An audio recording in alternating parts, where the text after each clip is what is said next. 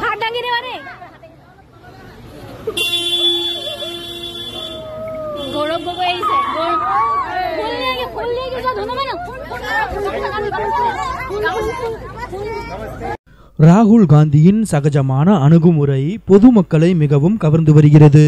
பாரம்பரிய அரசியல் குடும்பத்தின் மகன் இந்தியாவின் மிகப்பெரிய தேசிய கட்சியின் முக்கிய தலைவர் நாடாளுமன்ற உறுப்பினர் என எந்த பந்தாவும் இல்லாமல் பொதுமக்களில் ஒருவராக கலந்து சகஜமாக பழகும் ராகுலின் பண்பு பலருக்கும் பிடித்து போக அவருக்கு தங்களது ஆதரவை தெரிவித்து வருகின்றனர்.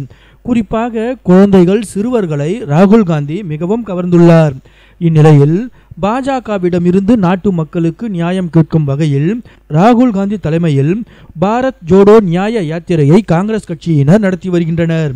வடகிழக்கு மாநிலங்களை முடித்துக்கொண்டு மேற்கு வங்க மாநிலத்தில் ராகுலின் வாகனம் நுழைவதைக் கண்ட பள்ளி சிறுவர்கள் சிலர் தங்களது கைகளில் பூக்களுடன் ராகுலை வரவேற்க சாலையோரம் காத்திருந்தனர். அப்போது யாத்திரை வாகனத்தில் வந்த ராகுல் சிறுவர்களை கண்டதும் பஸ்ஸை நிறுத்தச் சொன்னார். தொடர்ந்து சிறுவர்கள் அன்புடன் வழங்கிய பூக்களை பெற்றுக்கொண்ட ராகுல் அவர்களுக்கு நன்றி தெரிவித்துவிட்டு பாதுகாப்பாக வீட்டுக்கு செல்லுமாறு அறிவுறுத்தினார்.